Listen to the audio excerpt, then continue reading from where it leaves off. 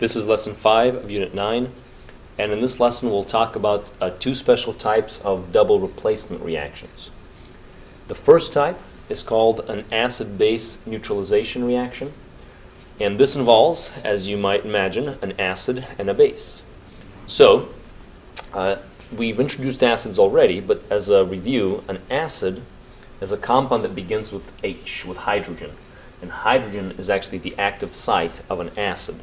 So here, for example, is your acid, HCl, hydrochloric acid, famous acid. Now, a base is a new compound, and a base is a compound that ends with OH, which is the hydroxide polyatomic ion, very important polyatomic ion. Now, anytime you put an acid with a base, what happens is you get two products, salt and water. This is a also pretty famous reaction. Now let me show you how this is a double replacement reaction. The double replacement reaction comes in the uh, idea, remember that, let's do it with green here, that the metal of the first compound replaces the metal of the second compound, and the metal of the second replaces the metal of the first. So now hydrogen, even though it's not a metal, it acts like a metal because it sits together with the group 1 elements. So hydrogen will replace sodium, sodium replaces hydrogen. So you'll notice here on the right side, sodium is now with chlorine. Sodium used to be with hydroxide. Uh, so it comes in and replaces hydrogen, and it takes the place of hydrogen. Now sodium is with chloride.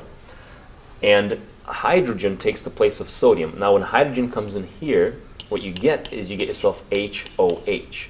And HOH is just another way of writing water. So water is the other product, and that's how you get water. Salt, in this case, you may recognize sodium chloride as salt, but uh, salt is actually a general term for anything that comes from an acid and a base. That's uh, the definition of salt. So hopefully you can see how this is a double replacement reaction. And uh, we're going to practice a few here in just a minute. Let's introduce the second type, which is something called the formation of a precipitate. Apologize. And a precipitate, first of all, is a solid that is formed from solution. So in this case, what you'll do is you'll begin with two aqueous solutions. Here you have aqueous, aqueous, and then you will form a solid as one of your products. So a picture of this will look something like this. You'll get two clear solutions, and when you mix them together, you'll get a white cloudy solution. That white cloudiness, this stuff here, will eventually settle to the bottom and form your solid. Essentially, you're forming a powder inside of two liquids. And the word precipitate can mean, uh, usually it means water precipitating from a gas, uh, from water vapor, but it can also mean a solid from a liquid. So, uh, hopefully you can see the idea of double replacement here as well. The silver comes in, replaces the sodium. The sodium comes in, replaces the silver, just like really in the, in the previous example. And you have silver teaming up with chlorine, as you see here, and you have sodium teaming up with nitrate, as you see here.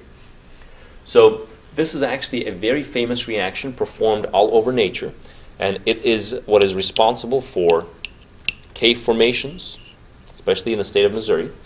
So the uh, stalactites and the stalagmites and cave formations come uh, through a precipitate, and the precipitate that happens is the one that essentially builds uh, these fine structures.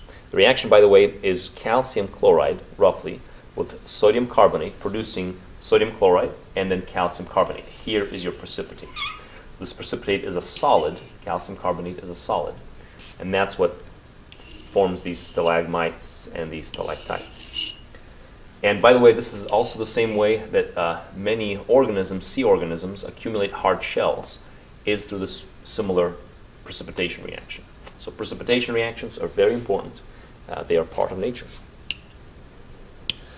Okay, let's go ahead and try some examples. So, uh, we're asked to complete the following neutralization or precipitation reactions. Let's find out which one is neutralization and which one is precipitation.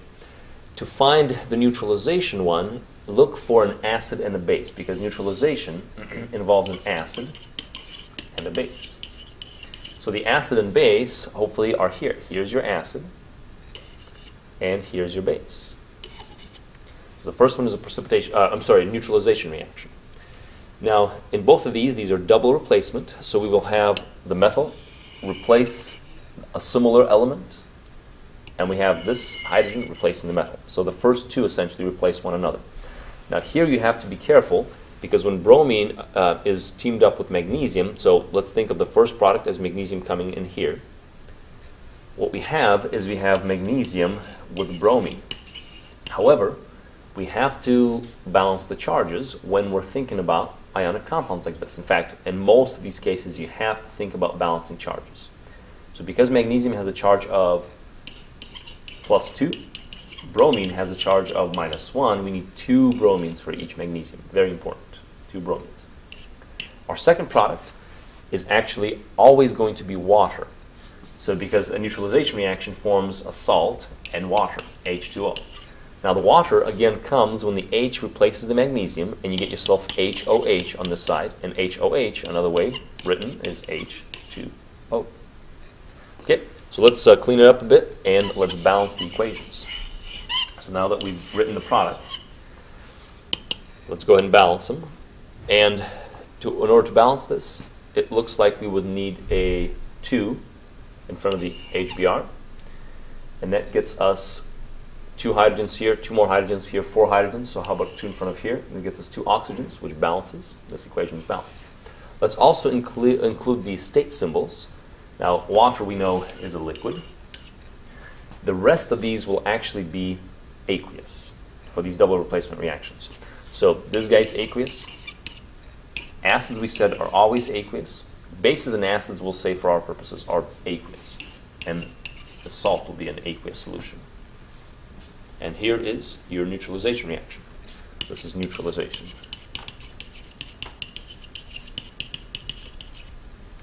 The second one then, precipitation, involves sodium sulfide and silver nitrate.